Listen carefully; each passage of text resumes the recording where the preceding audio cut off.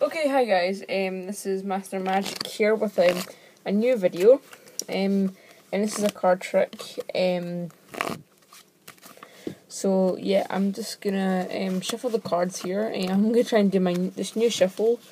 The um, well, it's not a new shuffle. It's new to me. The table shuffle. Yep. Okay, nope. Ah, gosh, right. I think I'm just gonna stick to the normal shuffle. Um, so yeah, I'm just gonna shuffle the cards here.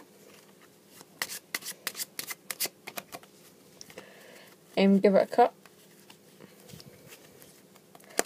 Okay, so now what we've got, oh, just turn these around the other way. So what we have here is a, um, a shuffled deck of cards. So what I want you to do is to touch any back of the card. So let's just say you pick this one. Um, so look at the card um, remember the card. So I'm not looking at the card, don't worry. So remember that card. So I'm just going to put this at the bottom of the deck.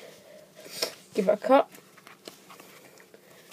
Okay, so now your card is not at the top, nor is it on, oh, nor nor is it on the top, or is it on the bottom? Okay, okay. So, right. So what I'm going to do now is also try and find your card, like this. Okay. Um.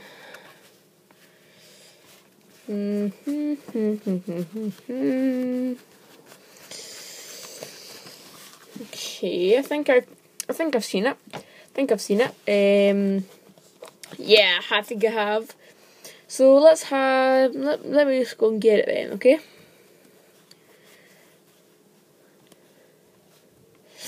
Uh, mm, hmm. You know? Here you go. This is your card. Oh my gosh, this is your card. So that's your card. Um, so if you guys like to see a reveal of how to do that trick, then please um, send me a message. Or wait, no. You know what? Um, I think I might do it if I get up to let's say ten subscribers. So if I get 10 subscribers, then I will definitely post up a review video and a whole bunch more videos like that. So yeah, so I'll see you guys later. Bye.